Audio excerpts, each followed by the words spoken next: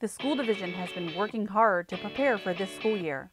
Covington Harper Elementary School offered an inside look at their virtual learning plan. To prepare for the upcoming school year, um, our PLC team has been working collaboratively day in, day out to come up with strategies and review the modules that the Office of Student Learning has provided for us so that we can meet the needs of all the learners. I work closely with the math department as I'm a math teacher.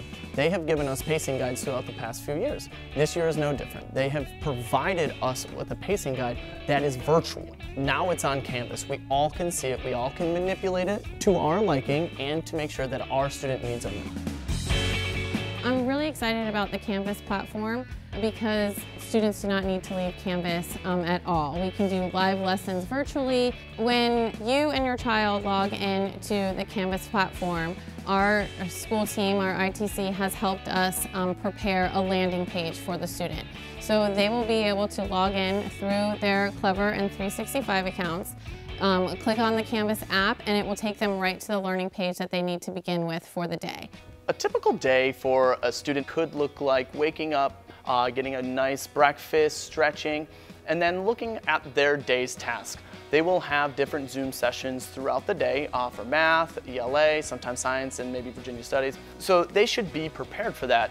With our breakout sessions in Zoom, we are able to pull in the ESOL teacher, pull in the special education teacher, the gifted teacher, and allow them to run that breakout session from our main session.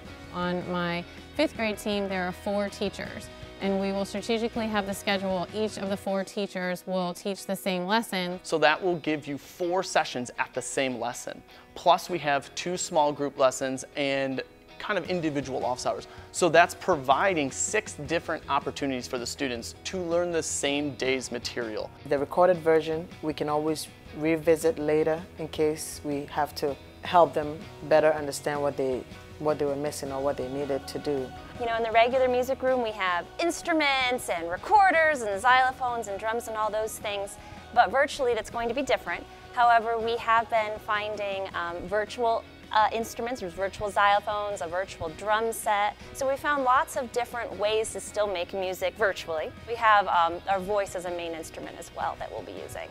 I'm sure you've heard of synchronous and asynchronous. The asynchronous part is that Monday, the teachers will be meeting, collaborating all day, making sure that our lessons are on point. But the student will be able to have this leadership opportunity to say, I have to get my work done. We're giving them materials. We're giving them assignments on the day off, but they are going to be working. Take it one day at a time and you know encourage your student to have a set routine each day. Whatever supplies that you need to have, it's great to have them out ready to go so you don't have to go find them in your house when it's class time. It's important for the student to have a consistent workspace, um, free from noise, it doesn't have a busy background, and our biggest tip would be is you know to fire up those laptops 10 minutes before your lesson, use the restroom, have a snack, and be prepared ready to go for your teacher.